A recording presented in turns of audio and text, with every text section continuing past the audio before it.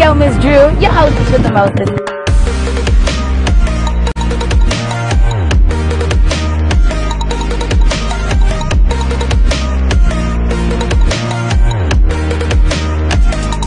I'll see you in the next moment.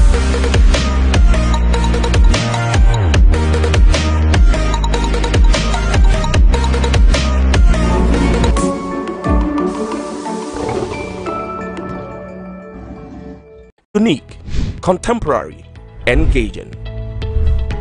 Introducing the ultimate talk show that captures, scrutinizes, and stirs up conversations around relevant content across the globe. We talk to the movers and shakers in the tech, youth entrepreneurship, creative arts industry, and many more. Join me, Kwame A. Opoku, usher you to the realm beyond the headlines, new tech releases, trends, and clicks. It's going to be a fun ride on MS Conversations.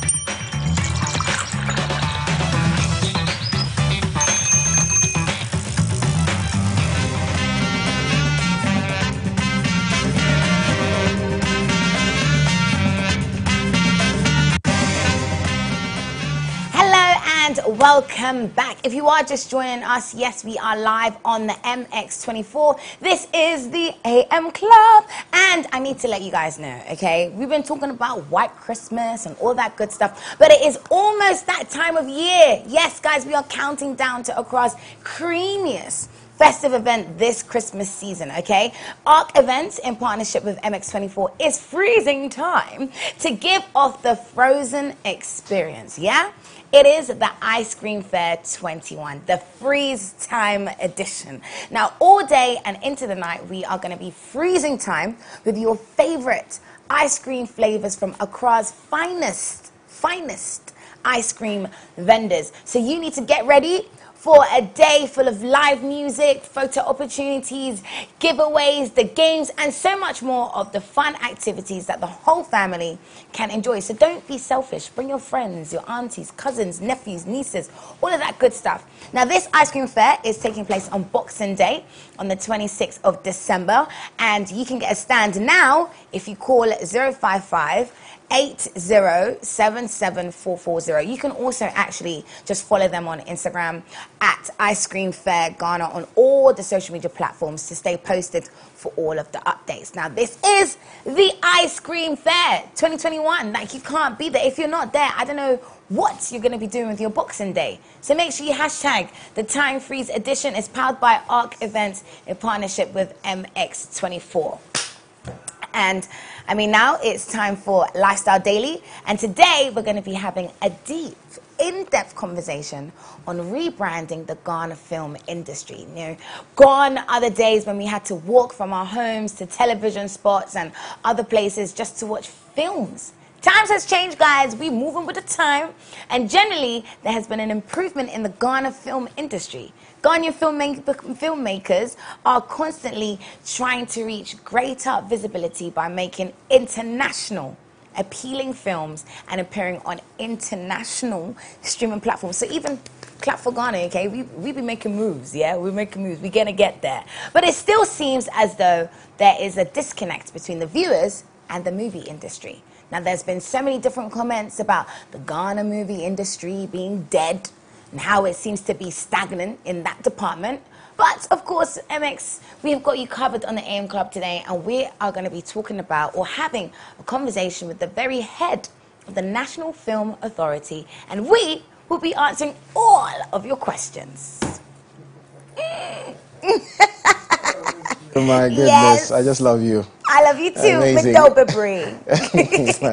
Anyways, guys, yes, thank you very much for that introduction, Ms. Drew. And before we get into our conversation, remember, always you're a major part of the show. We want to hear from you. What's your take on the Ghana film or on Ghana films today? Do you think we are progressing or we are lagging behind? Please send your reactions or send your yes to our WhatsApp line uh, 0550-331-511, 0550-331-511, or tweet at us at MX24GH with the hashtag the AM Club. Now, ladies and gentlemen, joining us this morning, as Ms. Drew rightly mentioned, is the very head of the National Film Authority and also chair of the National Film and Television Institute. That is Madame Juliet Yaa Asantewa Asante. Good morning. Good to have you. Also, uh, joining us via Zoom will be Tony Asankomah, who is a film critic, uh, founder for GHMovieFreak.com, and head of communications at the Ghana Film Producers Association, Mauli Ekpe Peter. But of course, definitely, I'll begin with Madam Asante, who is here with us in studio. Now, first of all, let me say that you're an AM Club member. I know you Oh, don't know what that means, nice. but we are making you an AM Club member by force. And for me, it's such an honor to be, to be here with you. I think it's the first time I'm meeting you in person. Um, I watched Heart to Heart. I just want you to know that I, I watched Heart to Heart years ago, so I know you very well. I watched your movies, so I don't want to say I grew up on your movies, you know, but I did grow up on your movies and watched Heart to Heart. Uh, but let's let's get into the conversation. Um, our movie industry dates back to the 1920s when it used to be a Gold Coast thing, and you know it was for the few, it was the, for the rich and the selected. Uh, but we've come very far. Um, we'll save all the history, but what I want to find out from you is how would you describe the state of our movie industry today? Well, um, I mean, describing any industry right now, you have to start from the point, you know, from the standpoint of COVID and what it has done to the world. And so the Ghana film industry is no different. But we can't say that um, every issue stems from that. But obviously, that has impacted the sector greatly. Uh, so I'd say that as a sector, one can say that it's evolving. Uh, obviously, the global terrain is changing every single day. Our ability to keep up and, um, and be competitive uh, may have been challenged in the past, but all of that is transforming. I, I guess I'm getting the vibe that you definitely don't want to sound pessimistic. Uh, you don't want us to go back to certain things. But let me briefly ask you before COVID 19, um, I'm an actor as well, so I can relate.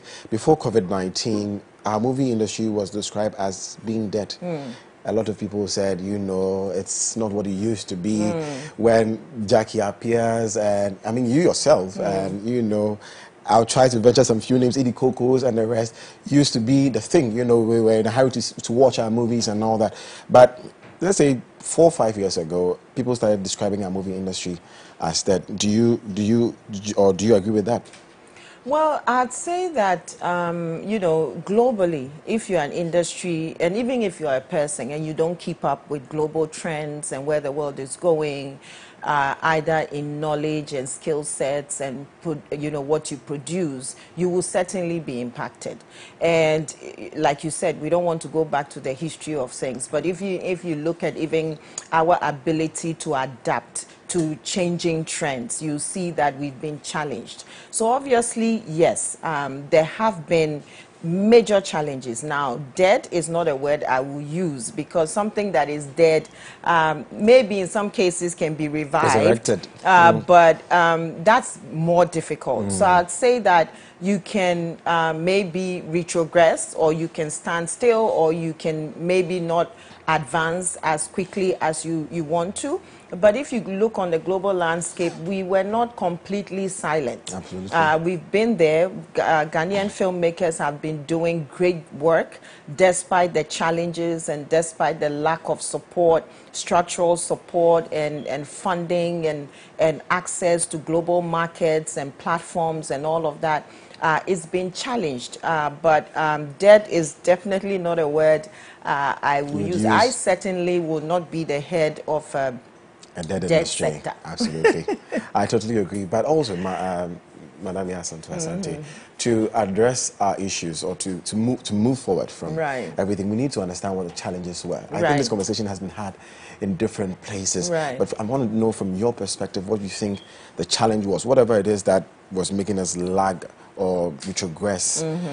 We need to know it to know how to move from it. And do better. What would you say these challenges were? Oh my God, there, there is a myriad of challenges. Um, but let me just even take it from one point of view of marketing and distribution. And I say this as myself being an industry player and a filmmaker. Mm. Uh, as a creative person, when you do your work uh, and you focus on the creative process, it's not your place to now go and market it and distribute it. But hang on, look at the entire continent of Africa. You have less than three major distributors, global distributors on the continent. We are talking about the entire continent. And so, if you do your work, how do you even sell it? Because, you know, it's like, let me just bring it down to a farmer. A farmer is great, produces his tomatoes and all that. If the route to market is not clear, if there's no transportation to the market, if the market is not there, then that tomato will rot. And, and film being a product is no different. And so, if a filmmaker makes his, his work and the access to the market or the route to the market is, you know, challenged, then it's a big problem. Um, you know, you can come into other issues like funding, which is, you know, a huge um, uh, problem because if you look at the kind of content uh, which is on major platforms and you look at the budget lines, um, you will see that the lowest budget may not even be our highest budget. And so then, you know, obviously when the budget is, is low, it impacts things like quality, the kinds of cast, and simple soft things like characterization, costuming, things that, you know, you may not put a handle on. But if you're watching a film and you're watching a good film, even if the story uh, let's just say two stories being the same, but you look at other production values, like say you're describing a rich person, you know, there's things that appeal to your senses, like textures and costumes and colors and designs and stuff like that. And that can easily make you tell a rich person from someone who is a wannabe. And let's just say that our films, in some, on some cases, have been wannabes. what a description. Um, I guess, and in this case, if we were to compare our industry, I guess Mm. the closest people to compare our industry to will be Nigeria. Right. Now, I do understand the argument when it comes to numbers, because Nigeria is the second largest economy in Africa. Right. So definitely, um, we may not be able to compete with them uh, when it comes to certain things. But we've also seen how the um, Nigerian industry has grown over the years. Right. Remember how we used to do collaborations Right. and stuff. But over the years, we've seen them grow. So when you when you when you're with somebody and you're almost at the same level, and Mm. then suddenly you see them just shoot up, you want you wonder what happened what to went you? wrong? Yes, Yeah. what happened to you guys, or what will happen to me? Right. Um, in our case, is it a case of the chicken before the egg, or the egg before the chicken, when it comes to the challenges you just mentioned? Because people will say funding, Mm. marketing, and distribution, but like you said, others will say, well, you don't give good content, so Mm. we can't sell it out there. So is it the fact that we weren't producing appealing content, Mm. or it was a case of we do, but we don't have the distributors to, to sell it to the world? It's a contribution of all. And you know, the Nigerian dynamic is interesting, and sometimes I caution a direct comparison. Being that, first of all, let's just step back and acknowledge that even the Nigerian industry was propelled by Ghana. You know, when you were introducing me, you said I'm the chair of the, you know, of the National Film and Television Institute, which is one of the biggest and um, longest existing film schools, you know, on the continent. And, um, you know, graduates from that school were very instrumental, and, and Ghanaians in general, Ghanaian filmmakers were very instrumental in, in the Nigerian market taking off. But then, if you look at Nigeria, I mean, Nigeria, first of all, if you do a product, you need a market. Nigeria, in its, on its own, is a market on, on, on its own. So, if I make a film in Nigeria, uh, if I sell that film, market that film properly, I really can make my money in Nigeria. Uh, and then you, you look at the dynamic of Ghana, which is about 35 million people. So you're comparing, uh, com, you know, comparatively to Nigeria, um, which is over 300 million people. But, but here is the thing. The recent um, UNESCO report that just came out, which is the most conclusive report on the continent, um, on, on the film and audiovisual sector. And we are so glad uh, to have that report because one of the things we haven't invested in is research. And, you know, data is necessary to make uh, decision, whether it's from policy or even as an investor, you need data. And we lack that data. So that's a major problem. Mm. But even if you look at uh, the UNESCO report, you see that West Africa is the most prolific uh, segment of, of, the sector on the continent. And within that uh, West Africa, there's Nigeria, followed closely by Ghana. Mm.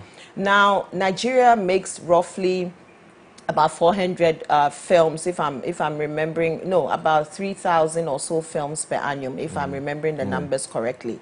And Ghana makes uh, close to 500 uh, films, uh, uh, you know, uh, per annum, if if I remember correctly. If you do the ratio of 30, 35 million people to 300 million people, we are not that bad. you know, if you look at the numbers in that way. Um, uh, but then obviously Nigeria made a conscious effort. Um, one, obviously the market is there, but there was funding uh, you know, that went towards the sector. There was policy intervention, you know, deliberate policy intervention. Uh, there were strategic interventions. Um, but, you know, Ghana has done a good job. Ghana now has the, the you know, the, the National Film Authority, mm. which is a good step forward. Mm. In fact, if mm. you look at again, going back to the UNESCO report, all of the, the steps that are recommended, uh, because in the UNESCO report is interesting. Right now, the sector is employing 5 million people and contributing 5 billion. Over the continent? Over the continent.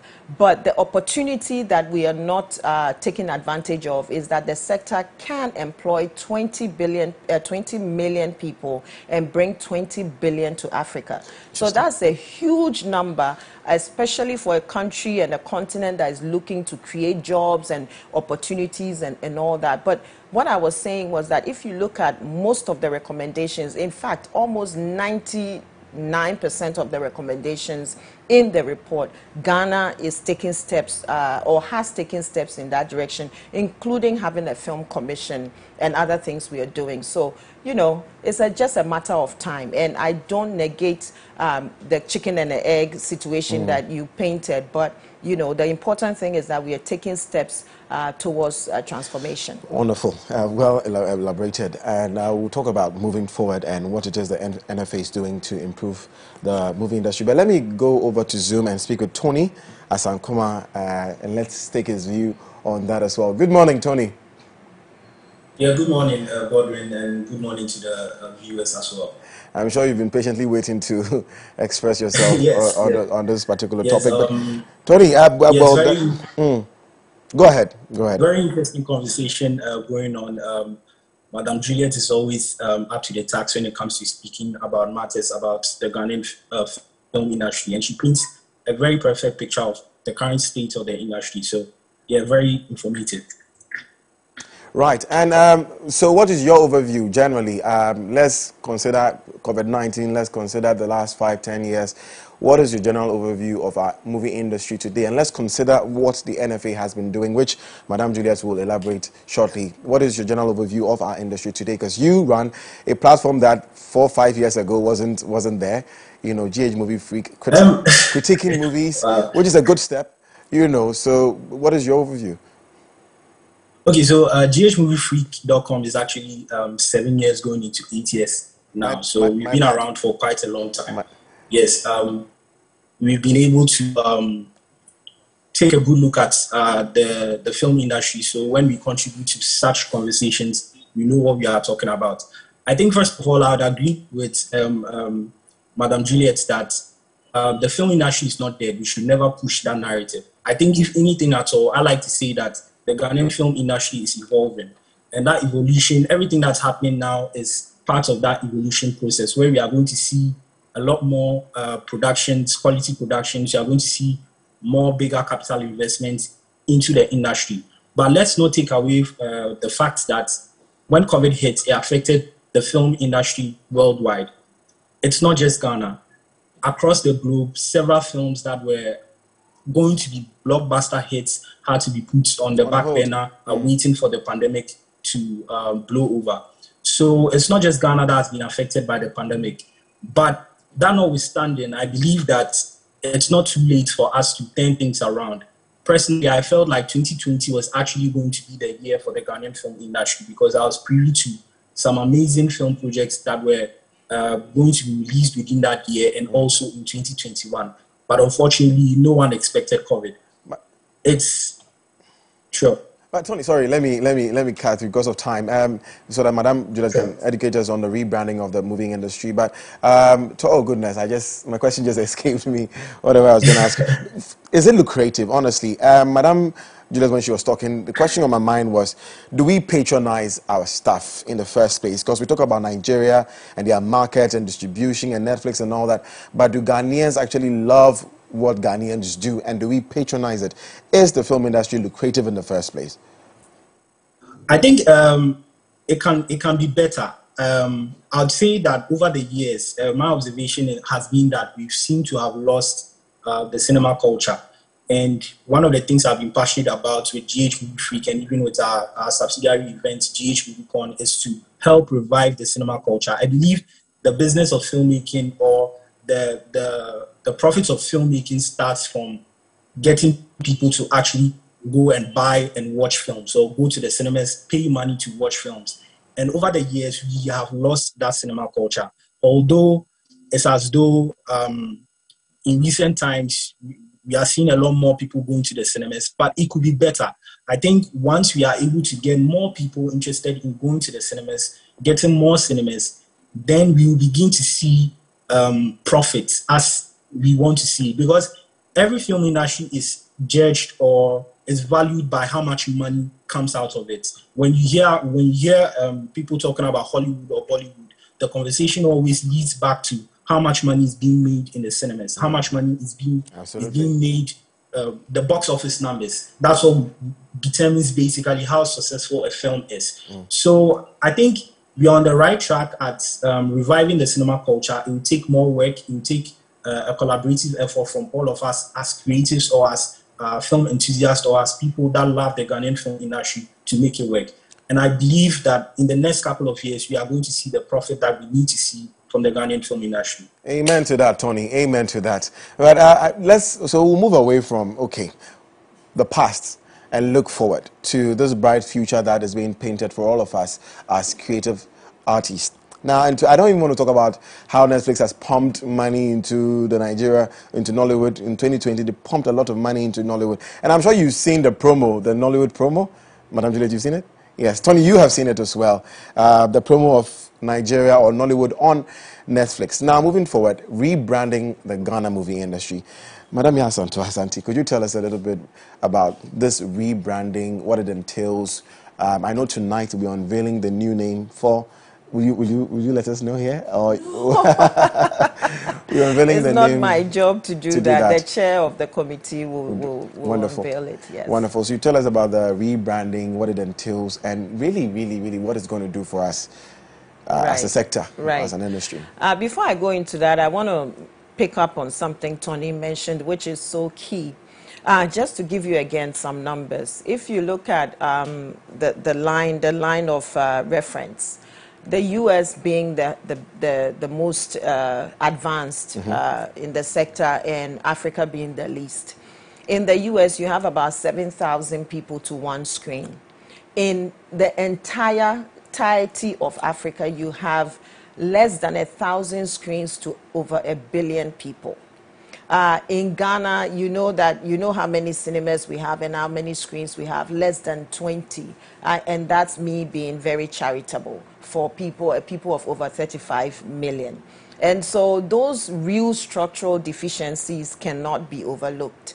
Uh, so I just wanted to make that point. And when I hear that, it uh -huh. just takes me back to the NPP's manifesto. I'm sorry right. to bring that, this mm. up. prior to Nana Addo's assuming of power, how they promised that we're going to have places like a national theater in every region in right. this country. And we thought that was okay, that was a good step right. to solving this problem you're talking right. about. But that's that's well, I'm not here to talk, to about, talk about that. manifesto. So you know, I talk about what I know about. Let's move away from that. Um, yeah. And you know, anyone who understands marketing and branding understands the relevance of that. First of all, um, you know, one can go back into the references that we've referenced the film sector by. Obviously, uh, the film sector, if you go into any country, the film sector is the sector of the country. So the Nigerian film industry, the Ghana film industry. industry. I mean, those things are not brand names. But along the way, we've had brand names that have come to the table via um, popular usage or suggestions and all those things. But uh, the key thing to note is that at no point did Ghanaians, because the Ghanaian film industry belongs to Ghanaians, mm. and even filmmakers are Ghanaians. Mm. And my um, uh, uh, authority is focused on advancing Ghanaian filmmakers to the world. And so there hasn't been any time where Ghanaians have collectively said that this is what we want to be known as. And if you look at um, the importance that Ghana as a country and all the tribes of Ghana, the importance we place on uh, naming and names and all of that, that just gives you the in-depth understanding of our people to the name that you carry. Because a name uh, in marketing, but even in life, a name embodies your spirit, it embodies your call, your future, your cry, your, your, your ethos, your pathos, all of those things. And we haven't done that as a deliberate act. Um, when Tony was speaking, he said something. He said uh, the cinema culture has gone down, which is true. Ghanaians, I would put it this way, um, the film industry may have lost our audience, and our primary audience is Ghanaians. So when I say uh, lost our audience, I mean Ghanaians, and we need to go back to Ghanaians, court Ghanaians, um, and, and ask Ghanaians to come back to us, so to speak, and, and part of that is getting Ghanaians involved in the process of transformation. So you see that in picking uh, a name, uh, we asked all of Ghanaians to partake, which in itself was interesting because suddenly then you could see the excitement among Ghanaians and how many entries? Know, How many entries? Uh, we had, uh, I think, over 500, four or 500 Names. entries names. Suggested, wow. And then, um, and this was interesting because people from all over the country just went in and put in names that they thought uh, was was very um, was appropriate to to propel the sector. And then the, the, the, committee, the abled committee chaired by Professor Audrey Gadzekpo, narrowed it down to 10. And with the 10, uh, we again went back to Ghanaians and asked people to select. And within that, we had over 2,000 uh, uh, uh, people coming back. Um, and then the name was narrowed down last week, which is, you know, exciting. Uh, so why are we doing this? All of the reasons I've already stated. But, um, you know, we need a name that identifies who we are, where we are going, a name that all Ghanaians can identify with and feel proud of uh, a name that all filmmakers can use and feel proud of, at least a name that people feel that they played a part uh, in, in, in choosing the name. And that's, that's uh, the purpose of it. And if you look at um, the strategy of the National Film Authority. The strategy is to position Ghana as a film uh, destination, a content hub, and a shooting location uh, broken down. If anyone around the world wants to shoot anything, especially in Africa, we want them to head to Ghana. Ghana. If anyone wants to co-produce, we want them to head to Ghana. If anyone wants to do anything around content, we want them to head to Ghana. And so to make that happen, then you need a, a, a deliberate action uh, to start that entire enterprise. And that's what we are starting with, we are the rebranding. With, yes. And my final, my, of course, final words, but from an actor, from mm an actor to a CEO mm. of the mm. Film Authority. Is that also an actress? is there and a director? I must say. Right, and a uh, writer. there you go. Is there a future for our industry? Is there a future? It's the future is beautiful. Even when you are gone. I can tell you, the future is beautiful. I mean, um, look at look at first of all the creativity of Af- of Ghanaians. Um, right will beat me inside my ears. the singing time is up. Right. Yeah. I mean, but then one word I can say is that the future is really bright, and we encourage all filmmakers uh, to have faith, um, to be interested. We encourage all filmmakers uh, to adopt and accept the name that Ghanaians have chosen. Uh, we, our mantra is together we build. We cannot do this alone. We cannot do this without filmmakers. We cannot do this with Ghanaians. And I want to use the platform to appeal to Ghanaians um, to again uh, uh, fall in love with the, with film, the film, sector industry. because some great work is coming out and I can assure Ghanaians that they will be proud of the sector that they call their own as they already I have want, been uh, uh, you know and, and will continue to be. I want to take Tony's last words but Tony forgive me my, my boss will beat me in my ears. But uh, we, are, we, are, we are unveiling the name tonight. We where, where, where is it happening? It's happening at the Gold Coast Lounge, right behind the Tourist Information Center. Ah, right. Yes. At 6 p.m.? At 6 p.m. 6 p.m. It's exciting, isn't it? Everyone the is countdown. invited? Well, everyone is not invited uh, because of COVID, COVID, protocols. But if anyone feels passionate enough, especially if you're a filmmaker uh, or a film lover or a film uh, participant or whatever, or even if you're a Ghanaian but you feel so strongly about this, you can you can come by. But are we are we going to stream on Facebook for those? We are going to stream it on Facebook. At, but the um, you know all our social media pages is National Film Authority. Authority. So whether it's on um, Twitter, whether it's on uh, uh, uh, you know Instagram or Facebook. Facebook. and our website is www.nfa.gov.gh. So. Wonderful. There's a lot of information there. Ooh, uh, this time is so short for us to have this discussion. Let me take just one comment coming on WhatsApp. The GH movie industry is doing the best because nothing under the sun is perfect, but they should put much effort and use of our culture in filming, nor, not the Western life style. Um, okay, that's arguable, but thank you very much for that comment. And I'd like to say a very big thank you to you, CEO of National Film Authority and Chair of the National and Television Film Institute, Madame Juliet Yaa Asantewa Asante. And to you, Tony Asankomah, GH Movie Freak, I'll see you tonight uh, at the unveiling. Thank you so much, bro. I appreciate it. You are still watching. There you go. You're still watching the AM Club live on MX24 TV, coming to you from our Silicon Square studios here in East Legon. Up next is Fashion Wednesday, and Lale Latte is there to plug you in. But in a, in a while, here is a song by Kwame Eugene Fusion Sarkodie.